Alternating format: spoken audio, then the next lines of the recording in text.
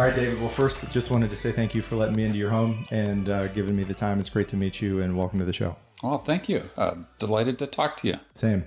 I know we were talking just before we were pressed record about kind of the the rough outline of what we wanted to talk about, and I, I would love to get you to give you an opportunity to speak about the, the history, maybe just in your lifetime, that you have seen related to your field of expertise, which is evolutionary psychology how did it start? Where did it start? How the hell did you get interested in this in the first place? okay, that's a that's a great question, uh, and uh, but making me feel a little little bit old. I mean, in, in, your life, you know, also all back in the 18th century. Uh, yeah. Okay. So, well, very briefly. Um, uh, when I was an undergraduate, uh, I became interested in psychology. And what I was really interested in was human nature. You know, what makes people tick? What causes people to get out of bed in the morning? What motivates people to do the things that they do?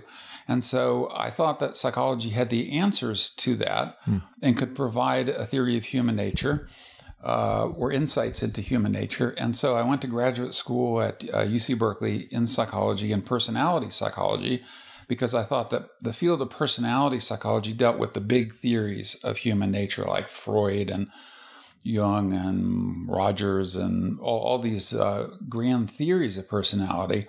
Uh, but what I uh, what I discovered very quickly was that um, all these theories had elements that had intuitive appeal, or certain elements of them had intuitive appeal, but they all lacked a scientific foundation in the sense of like, well, what is what is a fundamental science on which we can build a theory of human nature.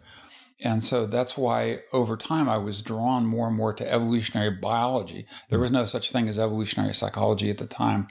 And so I started reading, even though I had no training in it and literally had never taken a course in evolutionary biology. I started doing a lot of reading in evolutionary biology, starting in graduate school. And then um, and then I got my PhD in mainstream personality psychology. I got a job at Harvard, which mm. was very fortunate for me because Harvard uh, basically leaves you alone. You know, they don't, here, here are the keys, you know, here's where the Xerox machine is. Um, you're on your own and, you know, check back with us some other time. So I had, for the first time, the total freedom to explore what I wanted to explore. And so I did two things. One is I, I took over a course on human motivation that was originally previously taught by a guy named David McClelland, who was a very famous personality psychologist. And I organized the course around an evolutionary framework. That was kind of the meta theoretical framework.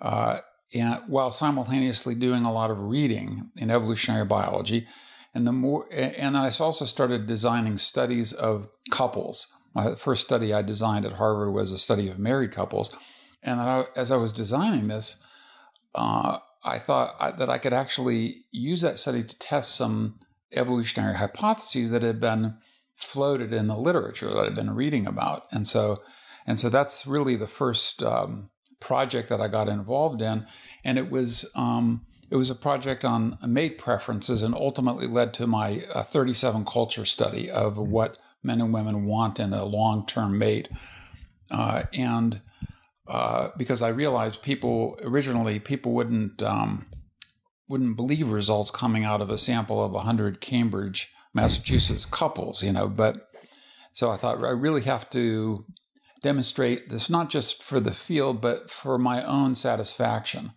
and um, and, and many evolutionary hypotheses require demonstrations of universality. So hmm. if you just find it in, you know, what are now called weird uh, Western educated cultures, uh, no one's going to believe you, you know. But do these fi- do these findings hold up if you go to other cultures? So, uh, but as it happened, and this is why I say the Harvard connection turned out to be very beneficial because at the time there was a graduate student in psychology named Leda Cosmides, and she was married. I don't know if they were married at the time, but her long term mate, subsequently husband, John Tooby, he was a graduate student in uh, bioanthro. And she heard that I was teaching a course organized around evolutionary theory. And mm. so that was a key interest of theirs. And they hadn't published anything on evolutionary psychology yet, but we became friends. And then I started corresponding with the very few people around the world who were doing anything evolutionary. And so that was kind of the start of it. And, and so my first papers were really about mating. And, and this was a very fortunate, um, fortunate thing to get into. And I'm not quite sure what, how I stumbled into it, but it turned out to be a very fruitful thing and theoretically important, you know, because from an evolutionary perspective, in sexually reproducing species, everything has to go through mating.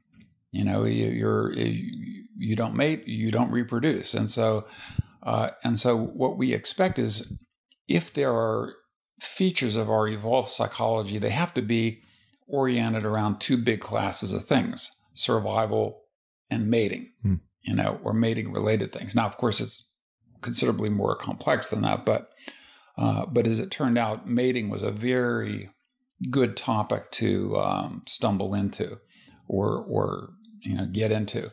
And it started out kind of as a sideline. So so then, uh, in terms of the the origin of the field, so I, I started becoming friends with the very few people who were working in this area. Leda Cosmides and John Tooby, as I mentioned, she was working on uh, cheater detection and social exchange. Although she didn't publish it, her fir- that was uh, I think her first paper. Uh, I think that was her doctoral dissertation, 1985. But her first actual publication on it was not till 1989. Hmm. Uh, and so, so there really wasn't anyone doing this stuff except for a couple weirdos, you know, like us. So. Uh, but um, but of course, Leda and John were extraordinarily uh, brilliant uh, uh, theoreticians and scientists, and so um, and so that friendship was very important. So. Um, fast forward a few years, so I was at Harvard for four years, and then Michigan offered me a job, and so I shifted to Michigan, which also had a very strong evolutionary community. But then I got invited to be at the Center for Advanced Study Studies at out at Stanford, hmm. uh, and it's, a, it's, one of these elected kind of things you don't have control over. You can't say, "Hey, I'd like to spend a year there. But for some reason, I got elected to be a, a member, and you have the opportunity to uh, to organize a, a special project if you want and propose it, and that would involve inviting some people to be there with you at the center for like a core like focus group. And so I proposed Foundations for Evolutionary Psychology and invited, you know, I wanted to invite Leda, Cosmides, John Tooby, Martin Daly, Margo Wilson, and Don Symons, who I wanted to invite, but turned out uh, that didn't work out. Hmm. And so that happened 1989. The five of us were out there, and we were going to write a book, you know, that was basically going to be called something like Foundations for Evolutionary Psychology. But if you know anything about academics, it's, it's like it's like the cliche of herding cats. You know, extremely difficult to do. Yeah. So, and I would, uh, I'm not a bad herder, um, so like I even had this was there was an earthquake in the San Francisco area. You probably weren't even born at this time, but I know you're talking about. It. Yeah, but it was 1989, I yeah. think. Uh, the big earthquake, the Bay Bridge, you know, sure. got totally knocked out, and uh, and so there's this earthquake hits. We're in the me- middle of our evolutionary foundations meeting, and uh, everyone gets nervous. And I say, "No, we must go on." And so we go on for another ten minutes or so, and then there's a big aftershock. And then John says, "I think I re- we better stop. I'm getting nervous about my apartment." So so we finally stopped it. So the, the joke is that I kind of lashed them into working through the earthquake. But uh, but um but but at any rate, that book uh, never never came to fruition, even though like we all wrote drafts of chapters and everything. But so eventually, I decided I just had to do it myself, um, and so I wrote what became the first textbook in evolutionary psychology. Evolutionary psychology. I grandiosely titled it "The New Science of the Mind" subtitle, but I think that is uh, was and is appropriate. So let me, let me ask you there. I mean, did yeah. you when you began this work with your former colleagues and and then eventually, uh, which led to the textbook, did you have the sense that you were hitting on something big? That this was the a precipice or a potential precipice for a vast new potential source of insight and knowledge? Uh, yes, I did. Um, I um, uh, I I started out. So just to backtrack one minute here. Please. So my training at Berkeley was very empirical. So Berkeley came out of this strong empirical tradition. So basically, and psychology tends to be like that. So it is not very strong theoretically, but it's very strong empirically. So mm. Whatever to convince someone, you have to just show. The hard hand of data is what decides everything. And so I had that very strong empirical training, which is what partly led me to do, you know, large cross cultural studies. Um, but at the time, I didn't.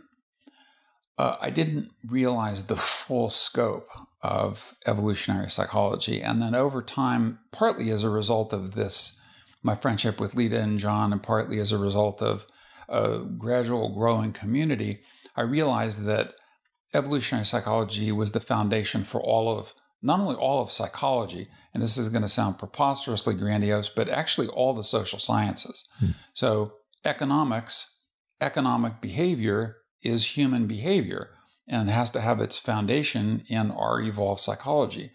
Uh, and, and of course, psychology now has partly moved into economics. So you have the whole field of behavioral sure. economics.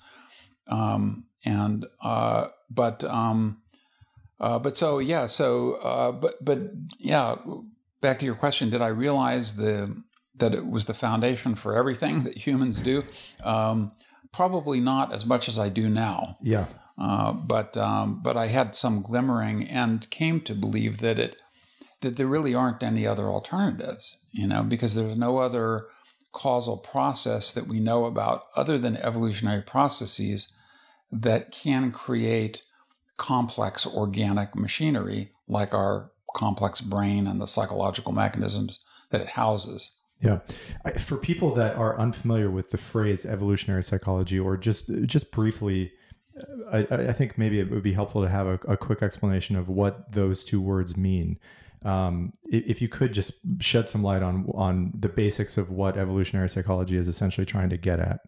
Sure. Uh, so uh,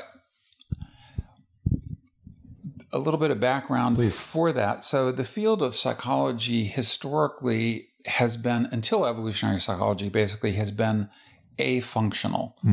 That is, that is, it hasn't asked the question, what are our underlying psychological mechanisms designed to do? What what are they? What problems are they designed to solve?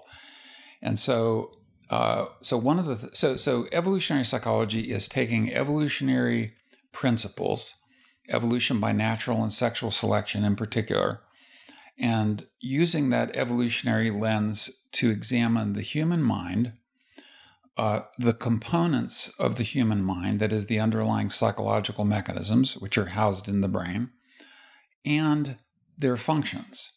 So, you know, um, that is, you know, our the fact that we have uh, as infants, we we we grow up and we have a fear, fears and phobias. So we develop as infants fears of snakes, darkness, spiders, strangers, hmm. hostile forces, and heights. Uh, things that historically damaged our survival. I mean, strangers could be hazardous to your health. Sure. Um, and these are innate. Yeah, well, so I so I actually don't like the term in, innate um, simply because uh, uh, all we have is our evolved psychology. There is no such thing as a non-evolved psychology.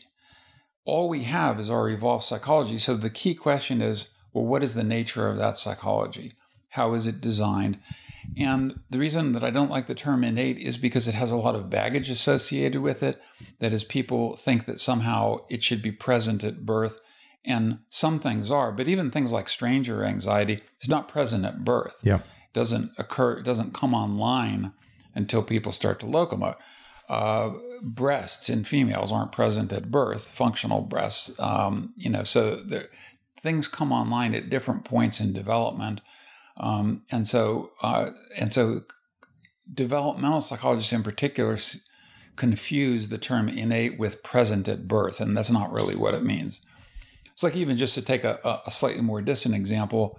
Well, in in my domain, mating. So our our full blast of mating adaptations don't come online when we're born. Yeah. They don't come online in in when you're in elementary school. They all of a sudden you hit puberty and all of a sudden there's a new world opened yeah. up to you, a new set of attractions and so forth.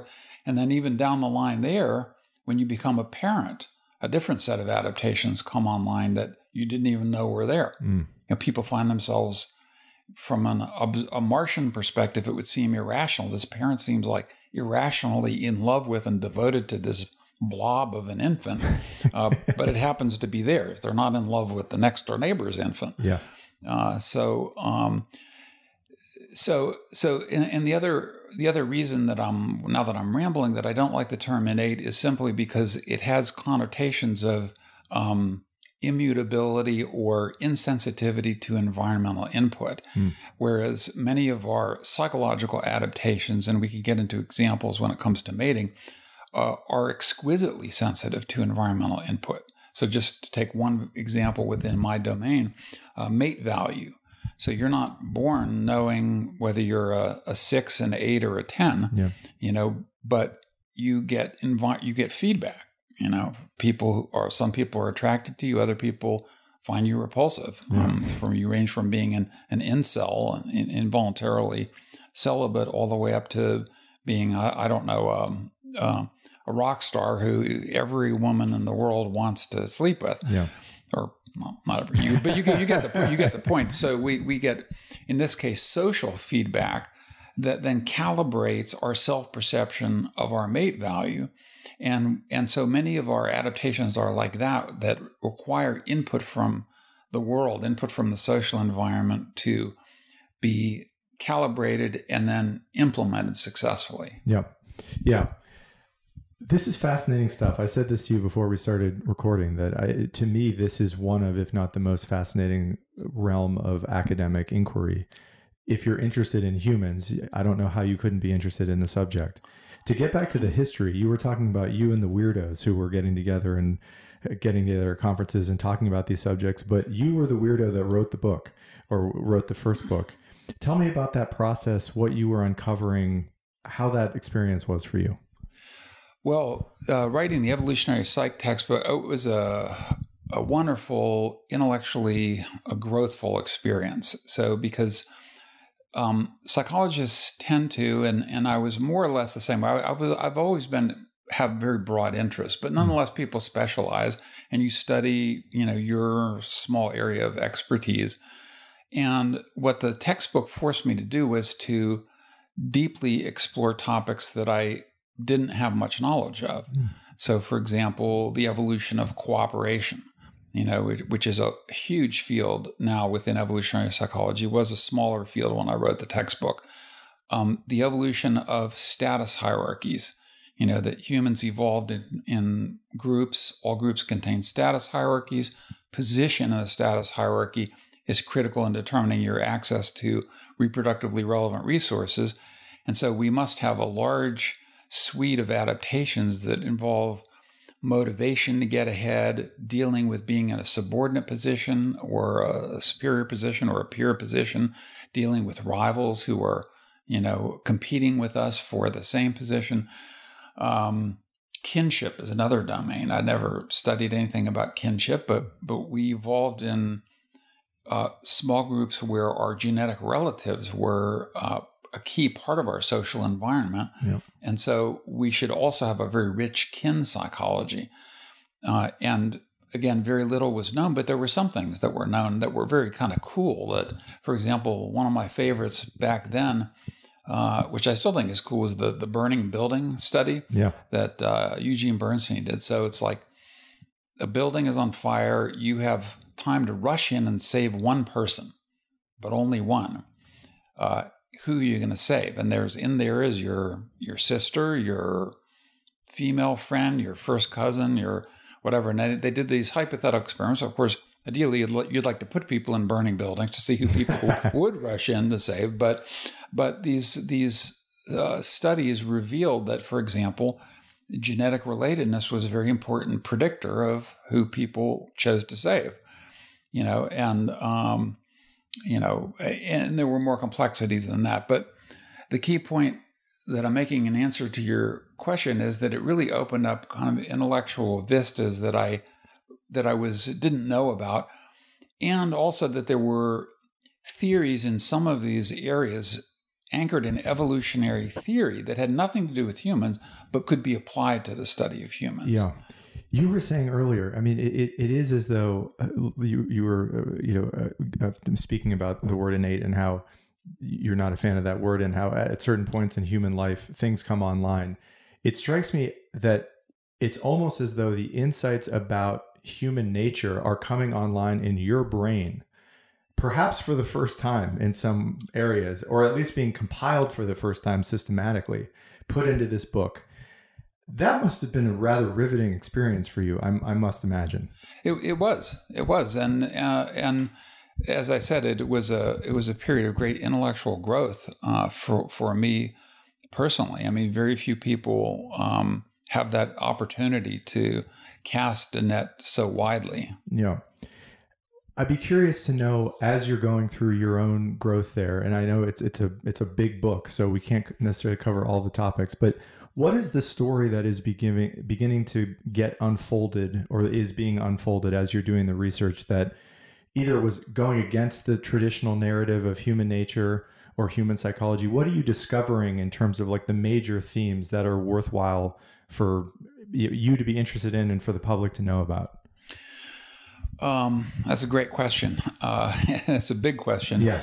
Uh, so uh, I guess I'll I'll pick out a couple, and then maybe you can direct me sure. if you think I'm going off track on this. So, um, one has to do with fundamental assumptions about the human mind, um, and and this gets back to you know the notion that all we have is our evolved psychology. So uh, but the, but the critical question is what is the nature of that evolved psychology? Yeah. So if you go to behaviorism, you have B.F. Skinner and Pavlov, so the behaviorists, they believed that these principles of learning evolved, so they weren't they didn't come out of magic. Mm. But the nature of those mechanisms is that they were basically blank slate, yeah. uh, totally domain general mechanisms, and that's why Skinner could study pigeons or rats or it didn't really matter what the organism was. They came in with essentially a blank slate, um, and on that slate were written either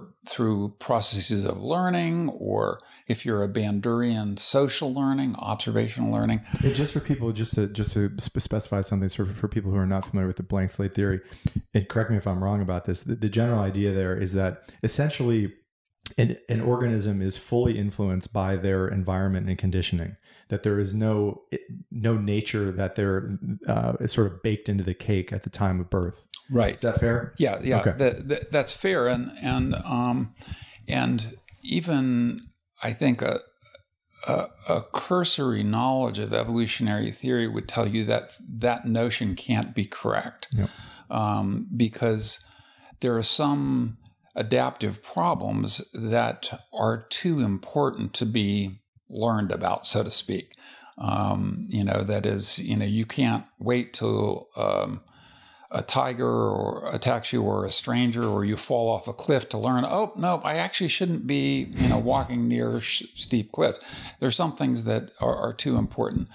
And, and I think mating is is the same way. I mean, you can't say, okay, well, I'm going to rely on my parents and peer group to tell me who I should mate with, you know, we have fundamental evolved attraction mechanisms that are very much like uh, food preferences. Hmm. So we have evolved food preferences for sugar, fat, salt, and protein, um, and we and um, and we have evolved mate preferences for other qualities depending on whether you're going for a short-term or long-term mate, whether you're male or female, etc.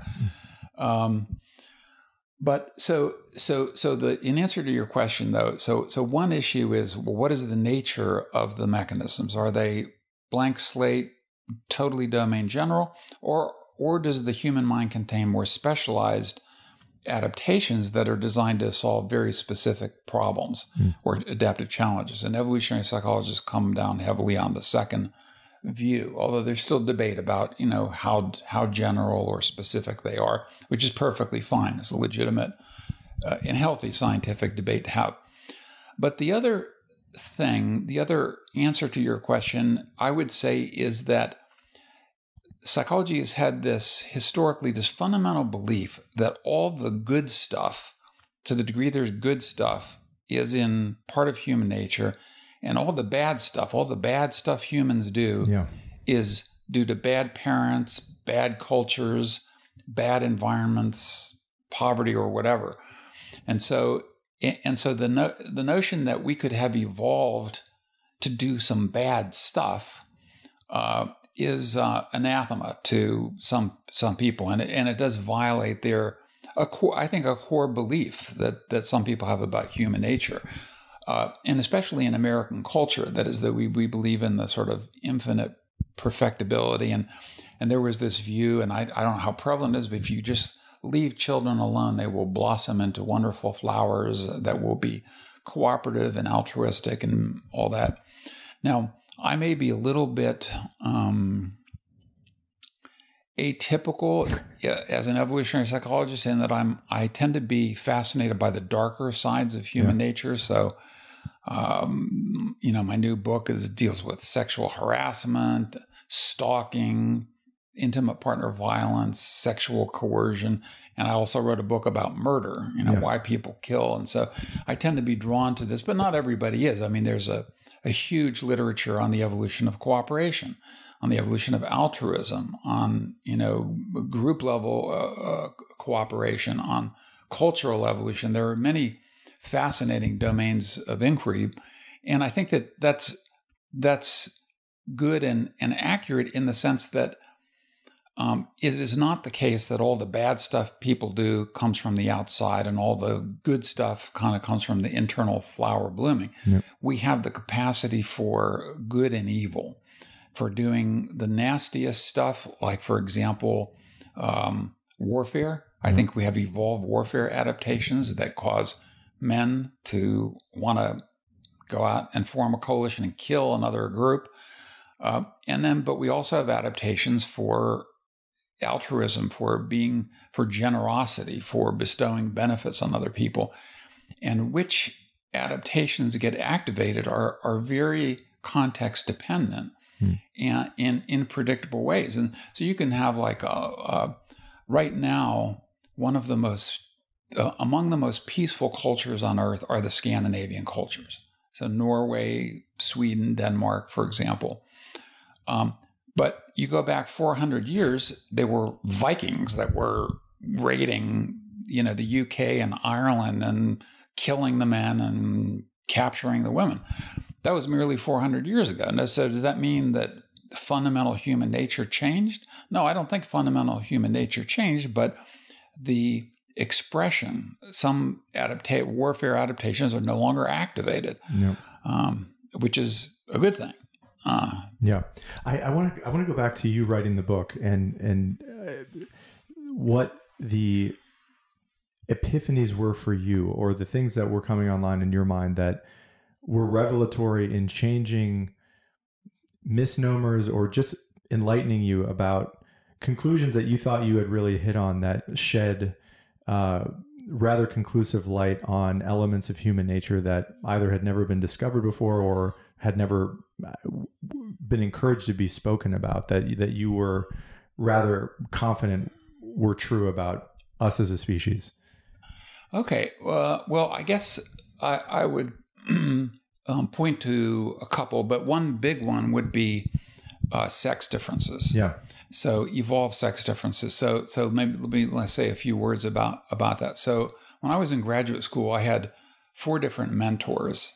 Uh, in part because I, um, when I was an undergraduate, I asked the most successful graduate student I knew, uh, you know, what what is what should I do when I go to graduate school? And he, he said one piece of advice: seek multiple mentors. Hmm. I think it was great advice. So I hit the ground. I had four mentors, but one of my mentors was a woman named Jeanne Block. And she was of the blank slate view very deeply. Hmm. And moreover, she, she wrote articles about sex differences where she argued that it was solely environmental in the sense of like girl parents dress girls in pink and boys in blue.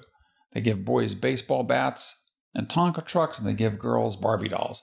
And the, all sex differences are a result of this sort of differential parental treatment. And she even did a, a science documentary uh, called "The Pinks and the Blues" that mm. kind of captures that essence. And but that view was widespread in the field. If there are any sex differences, they're solely due to differential treatment by parents.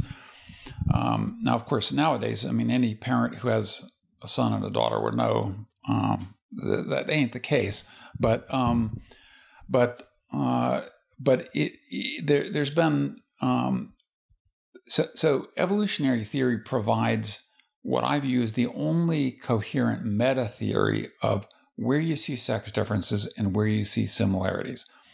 You only expect to see sex differences in domains in which the sexes have faced fundamentally different adaptive problems recurrently over evolutionary history. Hmm.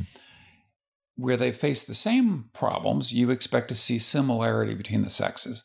And so, like in many domains of survival, both sexes have faced uh, problems of food shortages, of parasites, of predators. And so, males and females are very similar in many aspects of their psychology around survival. Where they differ is in the mating domain centrally. That's the largest domain. Even sex differences. So, one of the largest sex differences that people have known about for some time is in aggression. Mm-hmm. It's a physical aggression. Men are just, I mean, even from age three or whatever, boys are more like beat each other up more than girls do physically.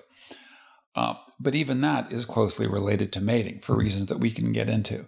But but this larger point uh, that there are fundamental evolved sex differences was um, was and to some degree still is anathema to um, people today. So there's in in the modern environment we have what some people call sex difference denialism, mm-hmm. where it just you know you even see this in neuroscience, which is just crazy uh, because the data are very very clear. The scientific evidence is very clear that male and female brains do differ, and you know, pretending that they don't, or, you know, there's some, um, I think, ideologically driven fast footwork to somehow make things look the same. So if you look at it at a very gross level, you say, well, males and females, they both have two hemispheres in their brains. Yes, they do. Boy, they're, they're similar. They both have a corpus callosum, which communicates the two hemispheres. Yes, they do. Well, males and females are just the same in the brain.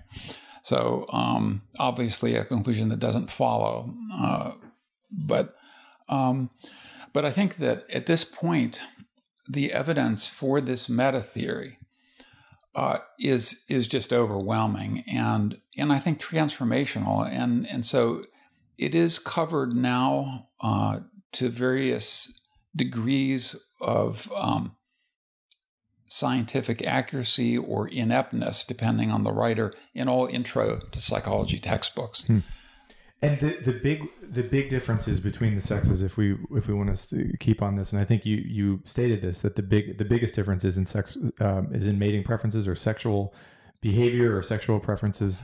Um, shed some light on that. What what do you what are the big differences and and specific to that one? How how do how do the differences turn out to be? Okay, okay. So the well, that's that's also a big question. Yeah. I've devoted a lot of uh, my research career to unpacking that. But so so he, here's here's the the here's the issue. So, um, sex differences don't emerge until you have sexual reproduction. Mm.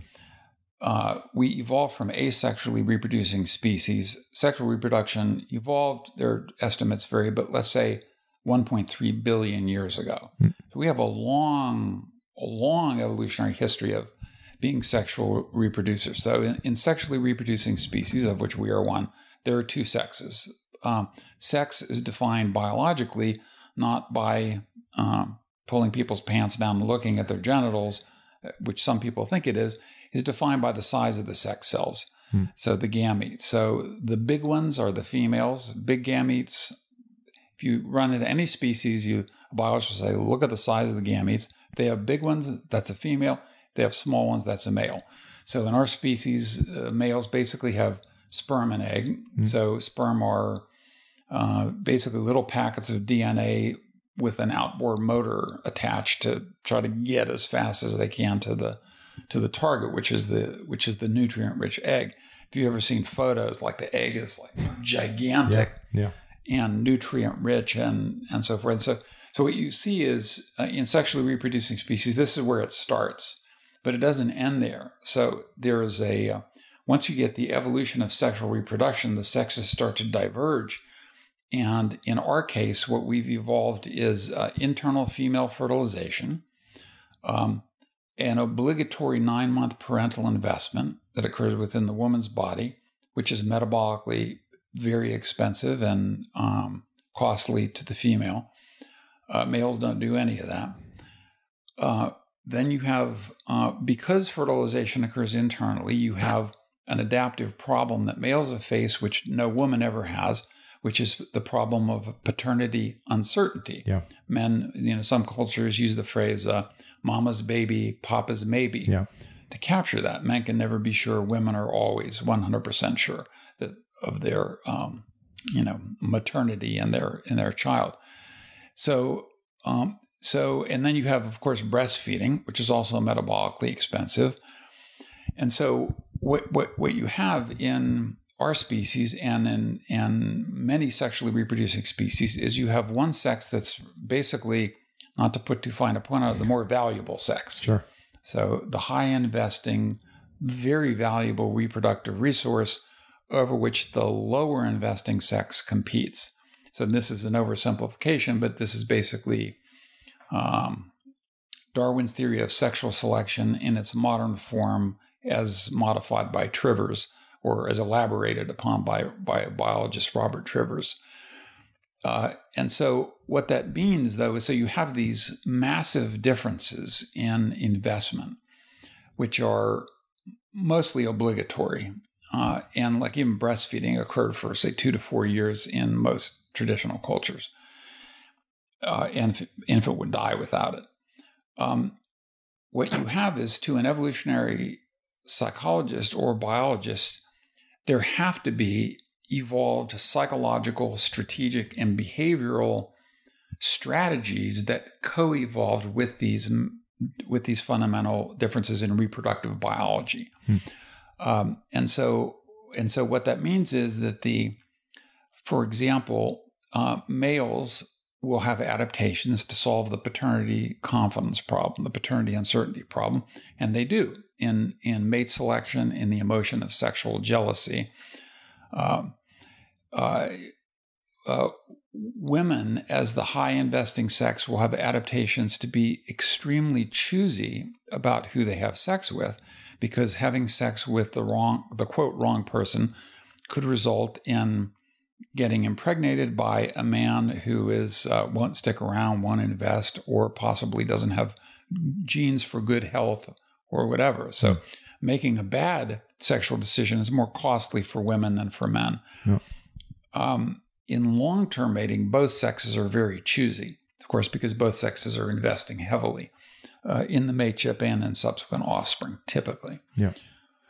So, so what we have is um, I know I'm kind of wandering a little bit here, but but what we have is large sex differences when it comes to short-term mating. So we have things like uh, desire for sexual variety. How many sex partners would you ideally like to have in the next 10 years if you we give you your magic wish? Hmm. Well, men and women give different numbers to that. You know, men say, well, uh, I don't know, 18. uh, women say, yeah, one or two, maybe three. Um, and uh, some men say a thousand. They were like a thousand.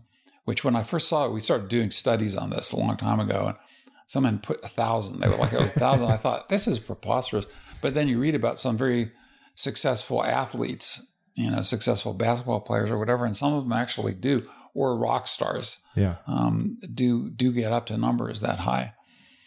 Um, so now, when it comes to long term mating, the sexes are more similar to each other. Hmm um, because they're both investing heavily in offspring. And so they both men and women want partners who are intelligent, kind, healthy, dependable, you know, a low mutation load. Of course, they don't think in weird evolutionary terms like that, but uh, but that's partly what it is. I mean, so we, we differ in uh, mutation loads. So everybody has you, and me. We all have a mutation load. Some people estimate that it's like averages about 500 mutations in each individual, but some like might have 1500 and some only have 200. And, and so mutations can basically degrade the development of your physical or psychological machinery. It's like kind of throwing sand in the in a machine. Yeah. So they can produce asymmetrical development, for example, and people find symmetry attractive in a mate. It's a it's a it's a health hue and a signal of low mutation load. Yeah. I know you mentioned this earlier that the I think one of the one of the pushbacks that I have seen among people that are resistant to some of the conclusions of evolutionary psychology is that there's no way that the conclusions that the field has reached have universal applicability that these are biased studies that they're not actually indicating objective reality. You noted earlier that one of the key components as i understand it to the research is uh, doing widespread global research regardless of individual culture, to make the determinations that the field ends up making. Um, I would love for you to talk about how you know what you know and how you feel confident. And if I'm correct in the brief description about how the research is done, maybe there's something to that. But uh, wh- why there is the general confidence that it's not just a subjective uh, biased subject or biased conclusions that are being re- reached by the, the field in general?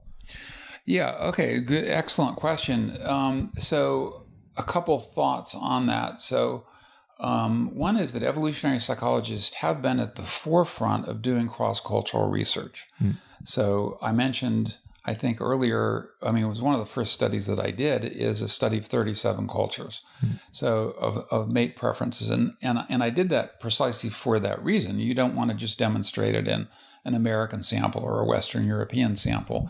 But that study had uh, basically every major religion, cultural group, political system, um, economic system that you, that you could want uh, and subsequent to the 37 culture study, the, the work, the conclusions that I came to, uh, basically I stopped after doing, after 37. I yeah. kept trying to get one more culture after one more culture. It took me five years to do it.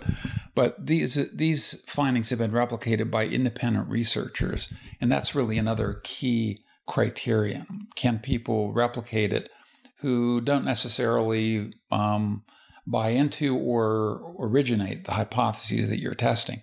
And the answer to that, and I mean, one of the things that I take some um, pride in or, or, sense of scientific happiness in is that my work is among the most replicable work in, in the whole field, including evolutionary psychology. So people even like there's a whole group of uh, researchers out of the UK and uh, that are that try to replicate all these effects. And I would say at least half of them they try to replicate don't replicate. Yeah. But mine replicate. So I'm very happy about that.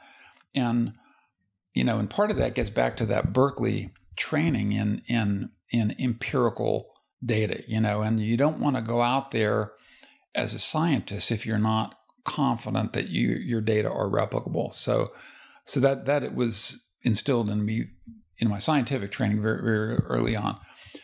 Uh, so now there, there's one other cut, one, one cut at your question has to do with levels of analysis. Hmm.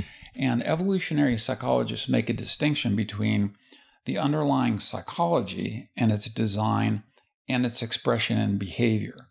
And so if you just looked at behavior, you would you would probably draw wrong conclusions. So for example, you could say, well, let's see. If you go to um, Zimbabwe, um, they are polygynous and they allow men, men to marry multiple wives.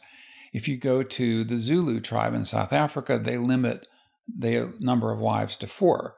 If you go to the United States or, or most Western European countries, they limit legally number of wives to one. So, well, see, mating is just, it's like infinitely culturally variable. Well, it, it, it's not. So, so you have to look at well, um, what is the underlying design of our sexual psychology? And part of the underlying design of our sexual psychology for males is desire for sexual variety. Now, if you grow up in a polygynous system, you might try to have multiple wives. If you grow up in America where you're legally prohibited from having multiple wives, well, you might want to get on Tinder and have multiple sexual encounters or you might want to do serial mating, you know, so mate with one person, break up, mate with another person, break up. And that's a very popular strategy mm. for men who have the mate value to successfully implement that strategy. So, so my point is that um, uh, is that you have to look. Evolutionists generally expect universality at the level of the underlying psychological mechanisms, mm. but not necessarily at their expression and behavior, which can be variable. So let me give you one more example of that that, yeah, that relates to my work and then some some of my work that's recently been replicated in a very very uh, non weird traditional culture. So uh, so one of the things that I discovered uh, was sex differences in the design of jealousy. Where where males tend to focus in very heavily on cues to a partner's sexual infidelity or cues that might signal that, and that's by hypothesis, that was what was predicted because it, it is if your partner has sex with someone else, that is the act that's going to jeopardize your paternity. Yeah. Sorry. No problem. Um. Uh. So so we found this sex difference, and and women are tend to be more cued into signs of emotional infidelity, signs that their partner's falling in love with another person, uh, signs that their partner is becoming attached to another woman. And these are cues for the long term diversion of his commitments and resources to, to that other woman. And so we find these sex differences, and they do hold up cross culturally. So they're replicated in a zillion cultures. But we say, well, what about a really strange, non traditional culture like a traditional hunter gatherer culture? Yeah. So, uh, so uh, uh, Brooke Scelza is her name. Recently, did a study, and I can't can't remember. This was the I think it was the Himba um, tribe, where she went and looked at that, found the sex difference there.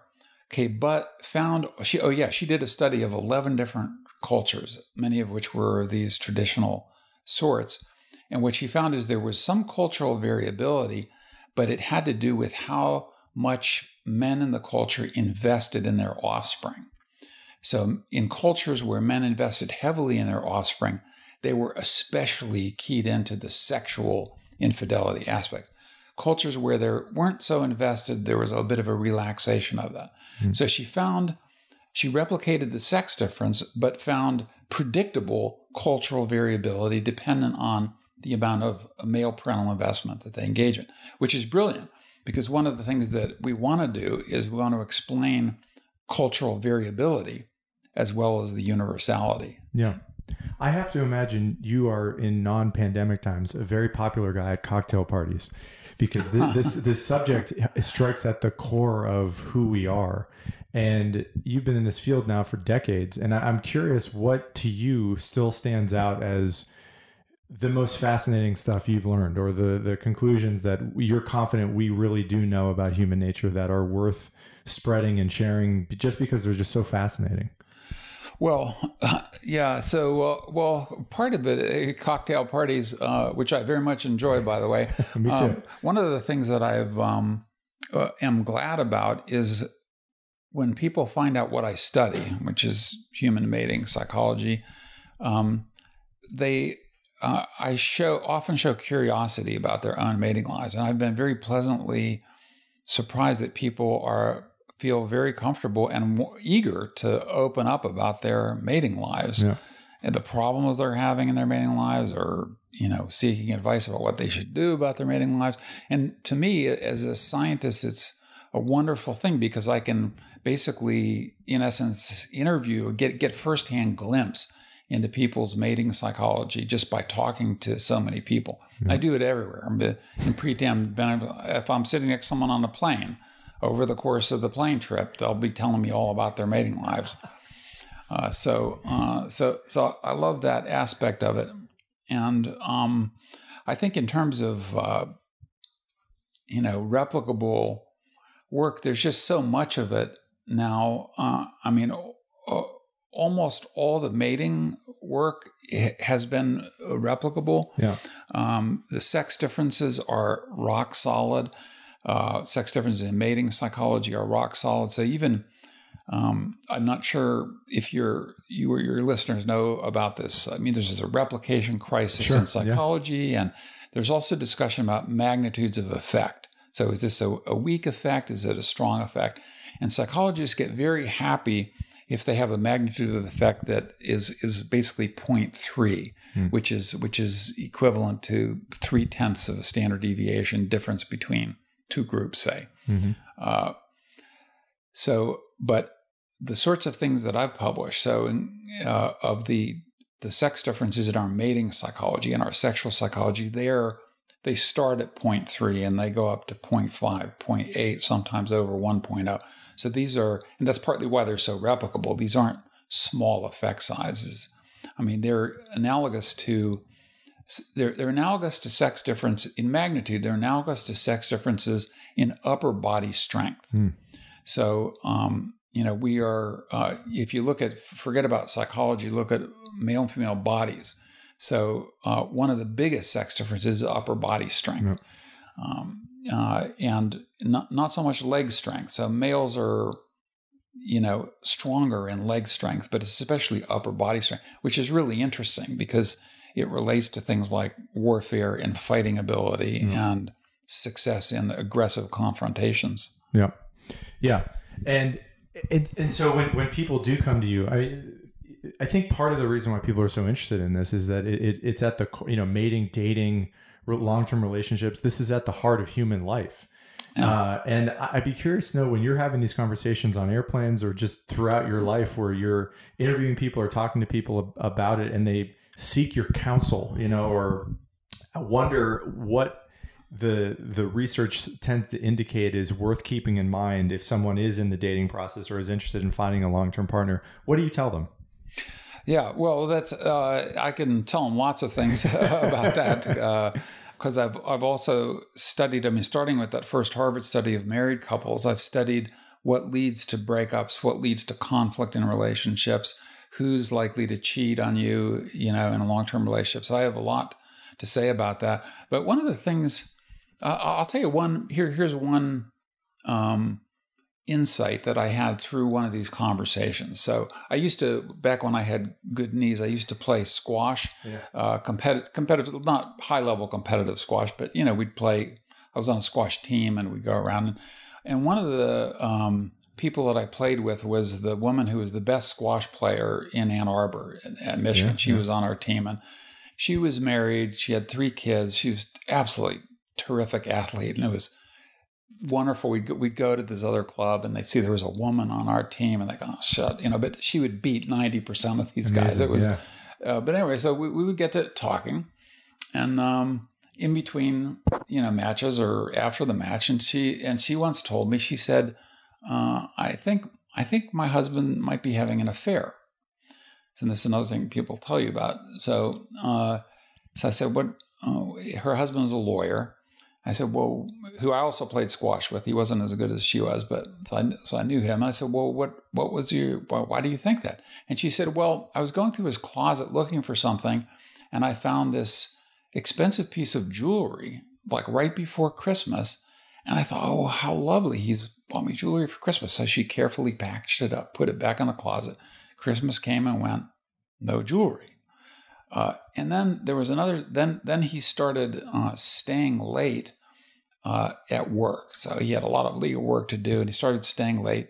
But what she noticed is that when he came back from these late stays, he smelled differently. Basically, smelled of condoms. Hmm. Uh, and and then she said, so she told me all this, and then she says, but I don't- actually don't think he's having an affair um, because my husband is the most honest person I know, and when I confronted him with this, he told me he wasn't having an affair. So, so I believe him. Now, one of the things I realized, so this is the self-deception uh, and the powers of self-deception. So this is a woman. She had three kids, no source of income. Uh, she had a committed husband who was invested in the kids. If she got divorced, it would have been really bad. It would have been traumatic for her, for the kids, especially um, going out on the mating market. You know, kids are a cost, not a benefit on the mating market. Uh, And I think that what it opened my eyes to was something that I hadn't really realized is the power of self deception. Yeah. That she could literally, even though the cues were so apparent, and I, I do happen to know her husband, and he never said, Oh, I'm having an affair, but he was what I know from my scientific studies to have the personality type to be likely to do that. Which is what?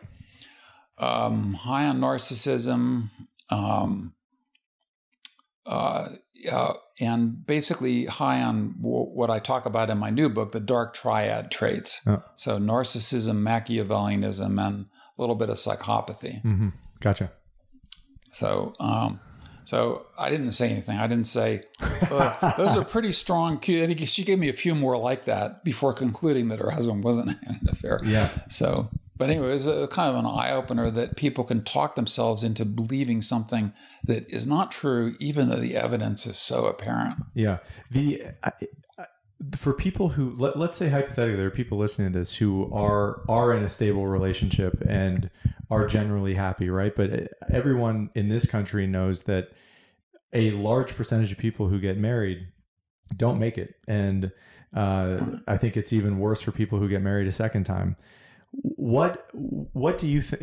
You mentioned this earlier about change in mate value between couples and and how maybe that may, may have been what you were getting at that it can affect the end result between the couple. But uh, for people who are looking to maintain their relationships, what what is worth keeping in mind uh, if one is interested in uh, trying to maintain that over the long the long haul? Yes, great, great question. So, well, I guess there are a couple things. So, one of the things that I see, so, so there are people who who break up. Um, I actually think that it's good that some couples do break up. So, for example, people, as you alluded to, people do change over time. So, the if you and I've seen this some with some of my graduate students, they get married when they're 22 or as undergraduates, and then they change and 10 years later they're no longer no longer the same person Yep. and so a person could be a perfect mate for you at one stage of your life but not so great at another stage i actually do talk about this issue in my in my new book Mhm. uh, and so so i don't think breakup necessarily means that you made a bad mate choice Yeah. on the flip side of that, there are couples who stay together that uh, live what you, is proverbially called the lives of quiet desperation. Yeah. So they're unhappy, they're unfulfilled, they're just going through the motions, but they don't want to get divorced because they're scared or because of the kids, or they don't want to, they don't know what their mate value is if they break up, go on the mating market. And then couples' lives get so uh, entangled that breakups can be extremely costly emotionally, financially, and for kids and for many other ways. So, but if you want a, a recipe, I actually have a recipe in the book Yeah. for mating harmony. Um, in the in the new book, it's an evolutionary recipe for mating harmony, and it involves uh, 14 components. So I can't go into all of them now, but I'll just mention a couple. So one is you want to pick someone who's similar in mate value to you. So if you're a six, don't try to lock in an eight because the eight is more statistically, our studies and others have found the eight's more likely to dump you, eight's more likely to cheat on you if, if you do manage to get them into a relationship.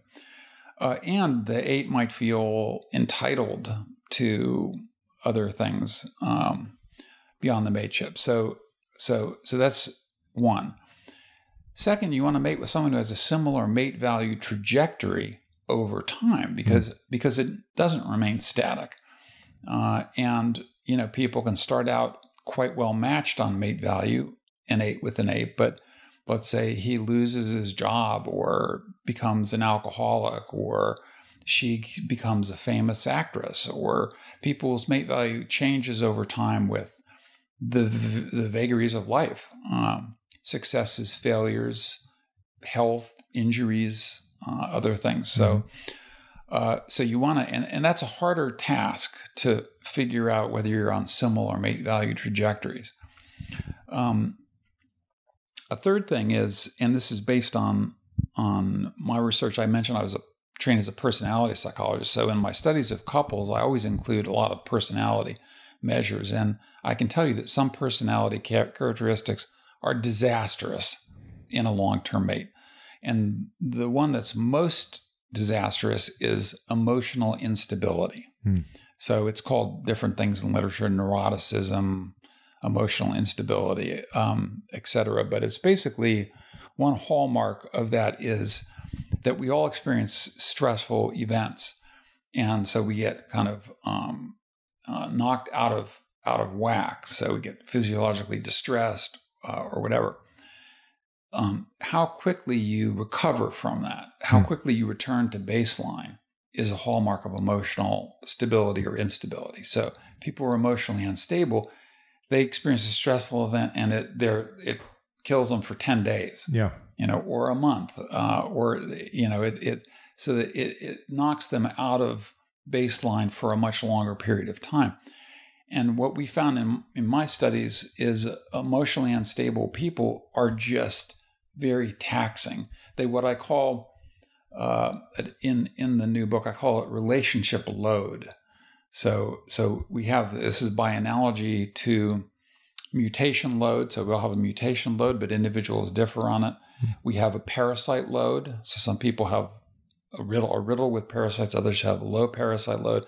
We also have relationship load. Mm. People who are emotionally unstable impose a high relationship load on their partner. And so, um, and it produces a, a, lot of stress and a lot of time and effort that has to get devoted to dealing with that emotional instability. And that's time and effort that you're not spending doing fun stuff or things that are more deeply rewarding. And so, and so emotional instability, and it is a predictor of divorce. Hmm. Um, what are the symptoms of that of, of that uh, of that personality type? Is it just neuroticism, something that could be observed in a person if you hung out with them for a few hours? How do you know somebody possesses that trait? Yeah, you can't. A few a few hours won't do it. Yeah, yeah. you need to see the person over time. What I recommend, and this is what I would recommend, I recommend to people who ask me for mating advice. They say I'm I'm in I'm dating this woman or man, and I'm thinking about maybe maybe we should take it to the next level, get a little more serious I say go on vacation with them. Yeah. You know, go to because on vacation, at least in a lot of vacations, you're ex, you're exposed to novelty, stressful conditions. You know, you're in a different economic currency. You, you don't know all the local customs, and you can observe relatively quickly, let's say a week or two, how the person responds to the stresses and strains of these novel environments. And that's usually a test. So if you really do well together on vacation, um, then that's a good sign that you're going to do well over the long run. If things, if the person can't handle it, the a piece of luggage gets lost and they're stressed out for five days, you know, um, you know, you gotta gotta roll with the. I heard one story. Some woman was telling me that uh, she was with her fiance in this. They were traveling in Italy and uh, got a flat tire. They had rented a car, and they were like and, and they were like stuck in a mud puddle or something like that. And he, this guy was like off the charts, stressed out about it, you know, uh, basically going to panic mode. And she was laughing, look, we, we got the cell phone, we'll call, you know, someone fix the tire, get us out of the mud. You know, it was like no big deal.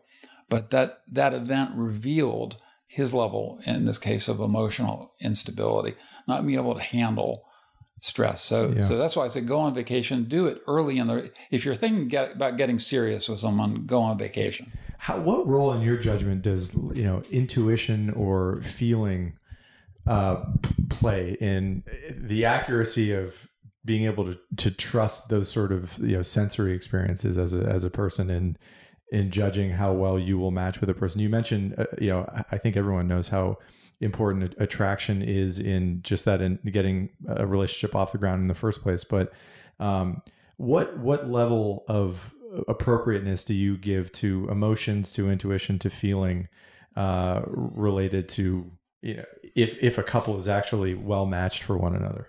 Yeah. Um, I, I, guess I, um, a lot. This isn't something that I've studied yeah. uh, in my own research program, but I think that people are often right in their kind of gut feeling uh, and um, sometimes go against their gut feeling um, and it sometimes ends in disaster but but i don't know. I don't have empirical data on that. Yeah. So but How My intuition is that you should go with your intuitions. For you know there there are also instances of people uh, that I'm I'm familiar with who you know break up for a while grow or change or something happens get back together and it actually sometimes works. Um, sometimes it doesn't work either.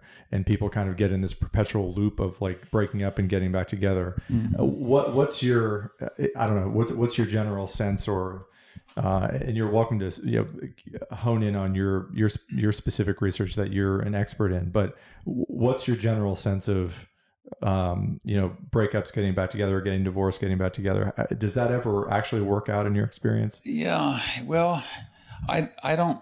Uh, I uh, again I resort to the empirical data. I, I haven't seen studies of that. Um, I mean, sometimes it does work. Actually, that that, hap- that happened to my grandmother. Hmm. Uh, my mother's side, they they got she and her partner got divorced, uh, and then they remarried uh, five years later and s- remained together till death parted them. Hmm. Uh, so um, what happens in those situations that allows it to work in in the end Yeah, I don't know. I, unfortunately, they're both dead now, Yeah, and so yeah. I would have liked to ask them that question, like, well, why did they break up to begin with, and why did they get back together? But um, I think that often, though, the reasons for breakups don't don't necessarily go away. You know, so I mean, I've seen more cases in my friendships and experience of the, of the latter where people break up, get back together, break up, get back together, and then finally break up, yeah or it doesn't end up working. Yeah. Um, do those tend to be just core personality conflicts that continue to resurface that people you talked about self-deception earlier uh, is that what t- tends to happen in those situations in your experience or, yeah, or some yeah, I don't know. I mean, that's a great question, um, but I don't, I don't have any insight into what causes it to work or not work. yeah let's talk about your book you were you were mentioning that earlier and i know it's it's coming out right it's not available quite Yeah. yet it's coming out in july Uh, it, well, April twenty seventh Okay. in the United States, July one in the UK. okay um, what got you interested in the subject of the book and, and talk about it what what's what's in there Okay. Uh, well, the title of the book is um, When Men Behave Badly, and the subtitle is The Hidden Roots of Sexual Deception, Harassment, and Assault. Uh, and so it basically deals with bad stuff men do. yeah Uh, brief bit of background of that. So I've always been interested in conflict between the sexes, uh, just because I've witnessed a lot of it in my life, um, some in my personal life, but also in everybody I know. Um, and uh, even in the studies that I did of couples, I never found a single couple that had no conflict. yeah There's always conflict yeah sometimes a lot, sometimes little, and how they deal with it matters quite a bit.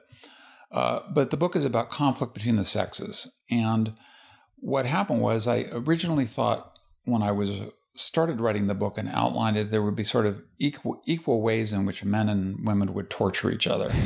Uh, so, and and and that is true to some degree on the on um, like uh, on the on the mating market. So, in internet dating, both men and women post deceptive profiles, deceptive photos that are not accurate. So, but um, but the more I got into, when I started getting into some of the topics like sexual harassment, stalking, intimate partner violence, and sexual coercion, it became clear that men, the more extreme you got on these aspects of sexual violence, is the bigger umbrella term, the more men tended to have a monopoly on being perpetrators and, and women being victims of it.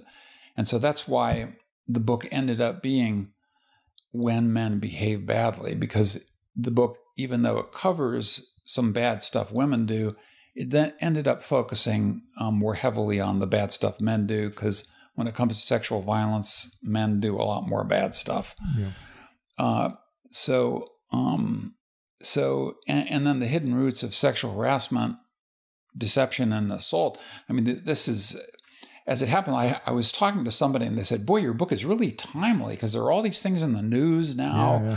You know, governor of New York, I mean, Harvey Weinstein, Bill Cosby, or now there's uh, another, uh, you know, politician. I can't remember his name off the top of my head. There's always, it seems like, this is really timely to Yeah. look at the hidden roots of you know sexual assault and harassment and all that. But but I think it's always there. You know, so if the book were published a year from now, there'd be a different set of things hitting the news. And one can even ask, well, why is why do people care so much? Why is that such a newsworthy thing? And I think that's revealing of how important these topics are and how the social sciences have not adequately dealt with identifying the causes. You know, and that's why I say the hidden roots of these things, because they are, of course, evolutionary roots. They they boil down to an examination of the underlying sexual psychology of men and women and how that gets played out in different contexts. And so trying to solve some of these pernicious social problems and I think I think sexual violence is a pernicious social problem. Yeah. Um, perhaps the most widespread one in the world that we have to identify the causes. Uh, we have to identify the underlying psychological mechanisms that are at play, the circumstances that activate or inhibit them, the defenses that have evolved to prevent becoming a victim to them. And it's only by this deeper scientific understanding that we'll be able to solve some of these social social ills, and I think they are social ills. Um, and so, in a way, uh, and, and I think social sciences has done a really bad job of that, in part because their model of human nature is fundamentally wrong. Yeah. Um, you know, if, for example, you your belief is that all ills in the world stem from uh, patriarchy, to use one example, or from bad parenting or something, you're not going to get very very far because sexual violence occurs in quote non-patriarchal cultures. So, so as an example, you go to cultures, uh, countries like like Denmark, Sweden, Scandinavia, they have very low rates of violence in general, but 30% ballpark, 30% is what the studies show of women in these Scandinavian countries will experience intimate partner violence. Really? Yeah, at some point during their lives. Yeah, Hmm. 30%. So, and these are not patriarchal cultures. In fact, just the opposite. They're among the most sexually egalitarian cul- cultures in the world. Hmm. And so, so clearly now, you know, do patriarchal institutions have something to do with it? Yes, they do. And I talk about that in my book, but they're not they're not separate from our evolved psychology.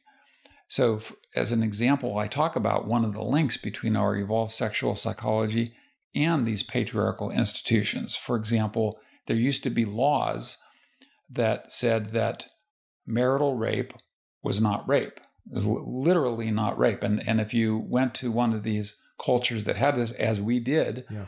Um, and they said marital rape, they would say that is what's called an oxymoron. That's illogical concept. There can't be such a thing because by definition, marriage, the woman gives her body freely to the man no matter what, and there's no such thing. Well, now in the United States and in many Western European countries, we have laws against that.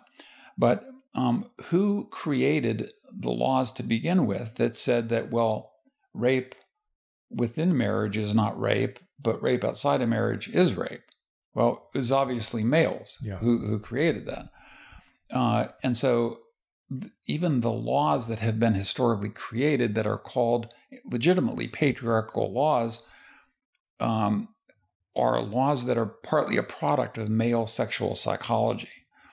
Um, and um, and I go into this in in some depth in the book when it comes to more modern things like um, in our culture, like laws against sexual harassment, uh, where because males and females have different evolved psychology around this, um, fundamentally different. So the same act, the same acts of sexual harassment, men do not perceive those as as as sexually harassing as women do, observing exactly the same actions. Yeah. Uh, and so the reason this matters is because legally there's what's called the reasonable person standard. And when it comes to sexual harassment or stalking, the issue is would a reasonable person judge these to be sexually harassing or judge these to be instances of stalking or induce fear in the victim? Um, and so, in other words, these it's a very small subset of laws, but they're relevant to sexual violence. the laws are defined in part by the psychological state of the victim hmm. and or imputed psychological state. But if you apply a reasonable person standard to sexual harassment, then it will result in harms to women if there's a male judge or a male dominated jury that's decided because there is no reasonable generic person. Hmm. There's a reasonable reasonable men and reasonable women. And so it's an interesting legal issue. And I've talked to legal scholars about this very issue about well, how do you design a law when the, when the psychological state of the victim is critical for determining whether a crime has been committed, when the male and female differ so profoundly in that psychological state. Yeah. You know, and and I think the the the some say, well, maybe we should split the difference or, whatever. I don't think that does the trick yeah. because again, that would harm harm women who are the primary victims. Yeah. I'm curious what you think about the field right now. I mean, I, I, know that there are other evolutionary psychologists that I'm familiar with that are becoming more public figures. Geoffrey Miller, I think at the University of New Mexico, Gad Saad, who's Canadian, I know is is also in the field.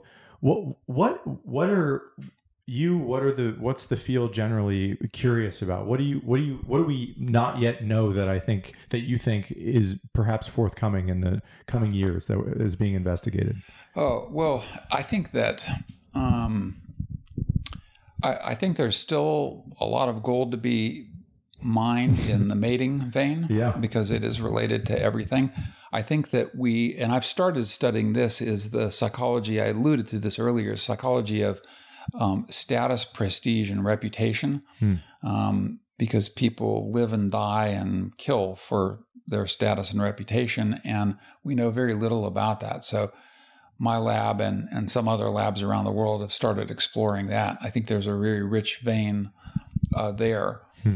Uh, I think uh, coalitional psychology is another big area that, and this is one of those areas where there are also going to be huge sex differences because hmm. women, there's no evidence that women ever formed a female coalition to go to war to attack another female coalition, kill the women, and capture the men as husbands. I mean, zero cases. Uh, but men have done that throughout human history. Yeah.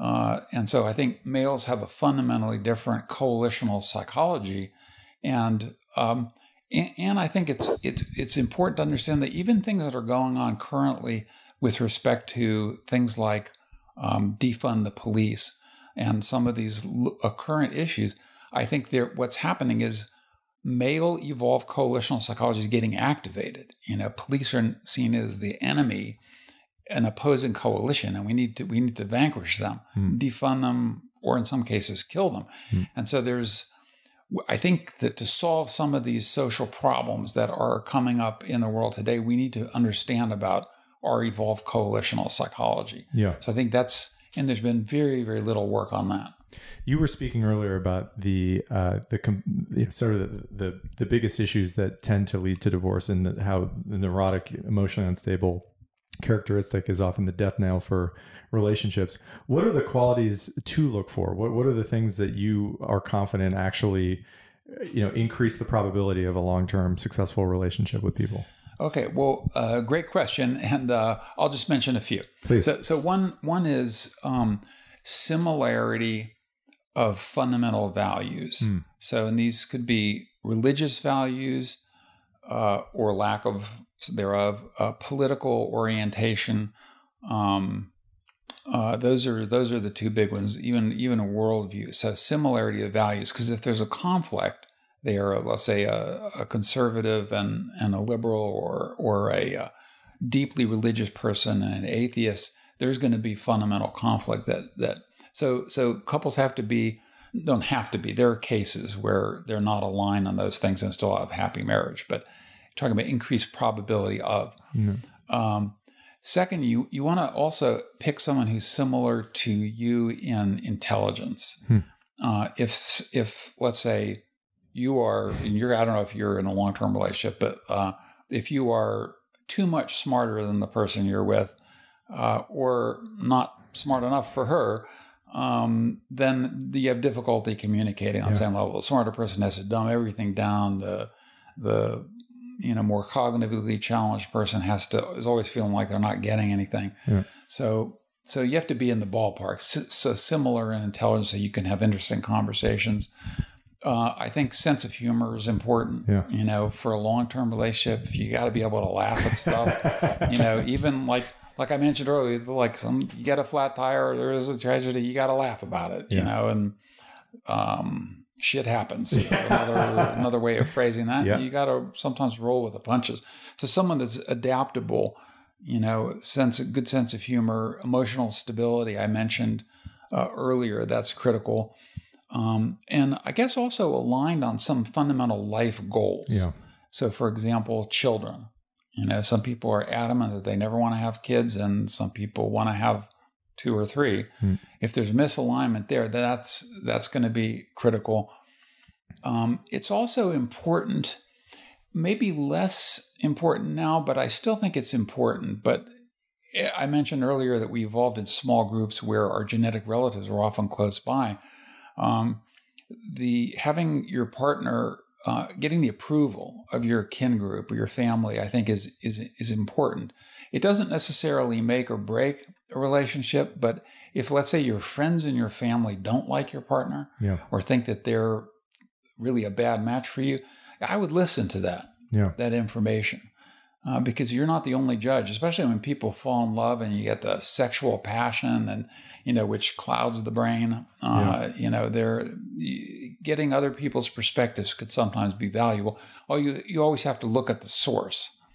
Okay, in, in other words, don't trust everybody's view. Yeah. There's a there's a line that I was I was writing today that I, I love. I think his name is Joseph Tussman, something like that. And it, it he said it's something like if if the pupil is to learn anything, it is that the world will do most of the work for you. And if you try to defy the world, it will teach you a lesson. That's Uh, good. that's- I'm, I'm butchering that to some degree, but I think the general Oh. idea is you were saying earlier if you're a, if you're a six, uh, don't you know it would actually probably behoove you if I'm understanding you correctly to kind of get a to deal with reality, um, to admit Yeah. reality, and that that actually long term is probably a better strategy if that's kind of what you were getting at. Yeah, Yeah. yeah, yeah. Although the that that's that's not always easy to do, but I yeah, I, uh, you, be, in part because men in particular, there's evidence that men more than women overestimate their mate value. Yeah, So the man might be a six, but he thinks he's an eight, or you know, and gets very angry at the women who are eights that spurn his um, attention. yeah, Uh, so, uh, but yeah, yeah, listen to the world. No, that's that's that's a good insight. yeah. Um, I, I, you've written, I think, I don't know how many books, but multiple books. What what what do you want to spend your time researching now? I mean, you, this publication is coming out here shortly. Are there other subjects that are still deeply interesting to you in the field that you want to pursue over the next many years? Oh yes, yeah, yeah. I feel like I'm just getting started. Yeah. Um, but, but um, yeah. So I have actually the, my next few books um, in the queue already. So writing this book, this is actually my first new new book in um, a bit over a decade. Yeah, Uh, so uh, although I've revised previous books, which I very much enjoy because you can correct all the errors and update things, but um, but um, uh, I'll just mention two. One that interests me very deeply is uh, the topic of morality, Hmm. uh, and uh, and in particular sexual morality. And it's become the topic of morality has become a huge topic in the field, but almost no one's looking at sexual morality. So my lab, uh, this is with a couple of graduate students, uh, former graduate student Kelly Asao and current graduate student Courtney Crosby. We're looking at sexual morality and looking to see whether which elements of sexual morality uh, are cross culturally universal, which are variable across cultures, which show sex differences. And it's one of these things where you ask the question about sex differences. And I, I ask it, and sometimes it annoys people when I do. I said, Have you analyzed your data for sex differences? And half the time, no one's even bothered to look at it. But sometimes there are really interesting sex differences, and, and we're finding there are in the domain of sexual morality. So, um, so that so that's a long term interest. Um, whether or not it will turn into a book or not, I don't know. Uh, but we're doing um, pretty intense cross cultural research on that. Another is the status, prestige, reputation. Yeah. I've always been fascinated by that, and we've started to publish articles on that. And so, typically, what my pattern is, I'll publish a bunch of articles on a topic, and then if I feel like there's enough there uh, for a book, then I want to write a book because I love writing books and I love reaching a, a, wider audience. And in fact, I talk about ethics and morality. I actually think that academics have a moral duty to disseminate their work because we, as professors, we are supported by the public. Yeah. So, I mean, I'm a professor at the University of Texas. The state of Texas pays part of my salary, right? So, why should all that information, the scientific knowledge that I generate, why should it just be spoon fed or not spoon fed, but but uh, disseminated to a small group of other psychologists who read the you know the the three journals that are you know read. I mean, every, everyone in this case in the state of Texas should have access to that knowledge. And so I, I view it as kind of um, a moral obligation to disseminate the scientific work if it's important. Of course, not all work is you know important, but I think this work, like on on sexual violence toward women, I think it's important and important for everyone to know about it. Yeah. So so those are a couple things, and I have a couple other other books in the in the in the queue, but for for people who are really interested in this subject, who who else are the luminaries that you point to as being like this is a really talented person doing interesting research in the field that you would recommend other people also seek out? Yeah. Uh, okay. Well, there there are there are a bunch. Um, so here's one one that I would recommend is a former student of mine. Yeah. He's a professor at UC Santa Barbara now. His name is Dan Conroy Beam. Mm. Uh, and he's doing, he, he, hasn't written a book yet, but he's doing amazing, groundbreaking research on, on human mating. Hmm. Um, a second person I would point to is a guy at uh, University of New Mexico in the psych department. Uh, his name is, I'm going to butcher his name, but it's Marco Del, Del Giudice, mm-hmm. I think is how you pronounce it. Um, I could be butchering that, but he's he's another absolutely brilliant evolutionary psychologist. He recently published a book on evolutionary psychopathology. So using an evolutionary lens to look at disorders, hmm. psychological disorders, absolutely brilliant. Everything he writes is is is is brilliant. So um, so those are those are two that come to mind uh, immediately on the kind of um, off the charts. You know, these are going to be superstars. Yeah. They're on a, that trajectory. Yeah. I would love to know too, in your own life, just personally, how what you have learned over your career has influenced or changed you. I mean, do you do you feel like the knowledge you have gained over the years has changed your behavior or changed the way you look at people? Anything like that? absolutely, absolutely. I, um, I don't know. Um, I think it's it certainly changed uh, the way I look at human mating. Yeah. In the sense that I I feel like I more I have X-ray vision into people's mating psychology in a way that I didn't, you know, back then. You know, and I can see, you know, just even trivial stuff like, you know, a woman says, um, "Did you see how short her skirt was?" That you know that you know that slut or right. Yeah, yeah. I get I like I, I, understand. I've done studies on derogation of competitors, and so I understand exactly what's going on. Um, mate guarding tactics, you know, um, things. So I feel like I do have more of an X-ray vision into people's mating psychology. Um, I think that uh, it, it's probably made me more optimistic about human nature. Hmm. So evolutionary psychology, if you just focus on the bad stuff, which I've done a lot of in my career, you can get a pretty jaundiced uh, view of human nature. But the fact that we have adaptations for cooperation and altruism and generosity and uh, and, and, really good stuff um, is um, is encouraging to me. Yeah, you know, and that's why. So I have I have uh, not a jaundiced view of human nature, but I guess a, a mixed view. We're a mixed bag. Yeah.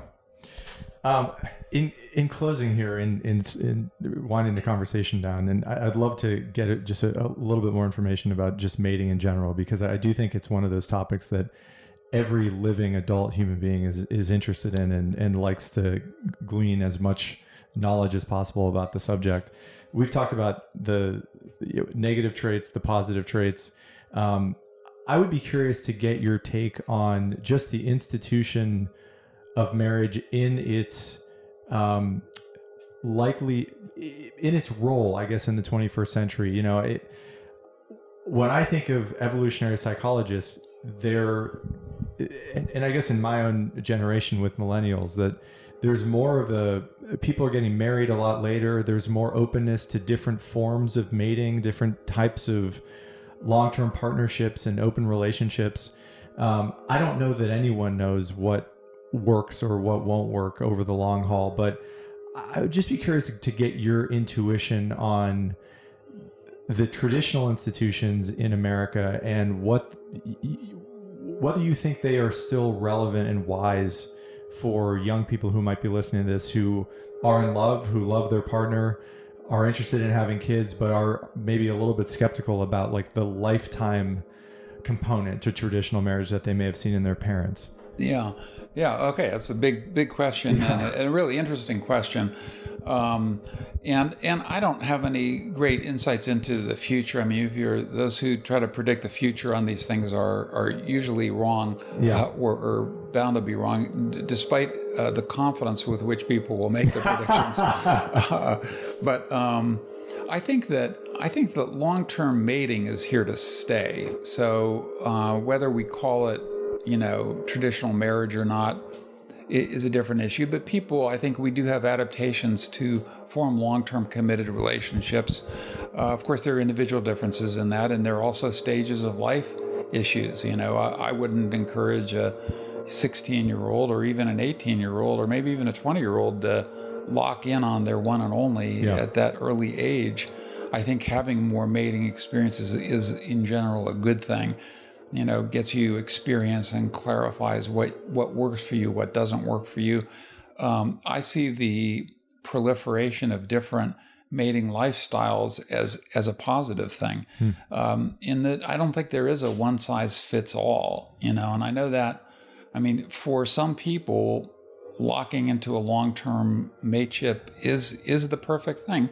Yeah. Uh, for other people, polyamory seems to work, and I know I know couples who that that actually works very well for them. It kind of satisfies desire for sexual variety while at the same time gives them the stability of a you know committed partner. Um, but that wouldn't work for everybody. You know, um, I don't think it wouldn't work for me, for example. Yeah. So my yeah. my evolved sexual jealousy mechanism would interfere with that lifestyle. Um, some people or really go for short term mating, you know, mm-hmm. and so get on Tinder and want to have sex with a different person every night or whatever every week. Um, so I think that I tend to be non judgmental about different mating lifestyles, yeah. you know, of whatever sort. And, and that includes, you know, obviously homosexual relationships and, you know, whatever, nudist camps anything, whatever people want. You know, life is short. Yeah. And then you die. So you, you, might as well go with a mating strategy that that suits you, suits you, and not all not, not there isn't one size fits all on that. Yeah. Last question I want to ask you is about. Um, you know, you've done a lot of these interviews, and a lot of you've answered a lot of questions today. You've interviewed a lot of questions in past interviews. Be curious to know if there's anything that you wish you would have been asked that you've never been able to address publicly, or or if not, if there are eh, subjects or or misnomers about your field of expertise that you think it's important to correct the record on?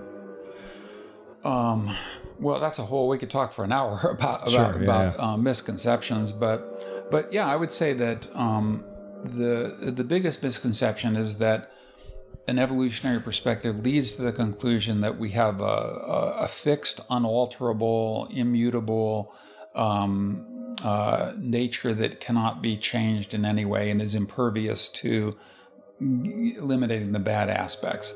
Uh, I think that um, that once people understand the nature of our evolved psychological mechanisms, they will realize how how context specific they are, and in fact that they were designed to deal with different contexts. Now, not all contexts, um, but um, but just that our evolved psychology is a lot more flexible than people stereotype is when they think about oh it's evolved therefore I can't change it. Yeah. Um, I think it's more difficult to change desire than it is to change its expression and behavior. Hmm. You know, so you can just like when you let's say you you want to get fit, you want to lose 10 pounds, it doesn't cause you to not like to eat ice cream or pizza or whatever you like. You Yeah. still like you still want those things, but you in the service of a different goal, you choose not to eat those things for a period of time in order to drop the weight. And the same is, is true of mating. You know, we, we have, um, you might be in a committed mateship and you have sexual attractions to other people. Very, very common. Yeah. But um, whether you express those, whether you say, okay, um, you know, whether you, you might interpret that to mean, oh, I don't love my partner, which some people do, and that's an incorrect inference Yeah. because you can have love for your partner and still desire for sexual variety and attraction to other people. Uh, but you might choose not to express that attraction in by having an affair or sleeping with that other person for a variety of reasons. You might want to preserve your mateship, or you may feel like it would it would cause a breakup, or it would cause damage to your social reputation, or a variety of things. So we have at any moment in time many many desires, many of which get subjugated to other desires that Yeah. are more important to us. Yeah. Well, I love the subject. It's one of my favorites, and I, I can't tell you how much I appreciate the the time. I know you're a really busy guy and a really productive guy. Um, I have been looking forward to this conversation for a long time, and I wish you all the best. I, I think the field is it's just it's it feels to me like one of those growth areas like uh, that a lot more people could benefit from knowing about and and that a lot more people will get interested in and um, yeah, I just want to thank you for all of the years of work that you put into evolutionary psychology and um, and wish you the best with everything else that is is to come in in your career. Well, well, thank you. It- It's really it's been a genuine delight to talk to you, and uh, obviously you're very intelligent, and I appreciate uh, your asking such thoughtful and intelligent questions because that leads to an interesting conversation. Thank you, David. I appreciate it. So, and hope we have another in the future, maybe over a beer. I would love to. Thank okay, you, cool. Thank you.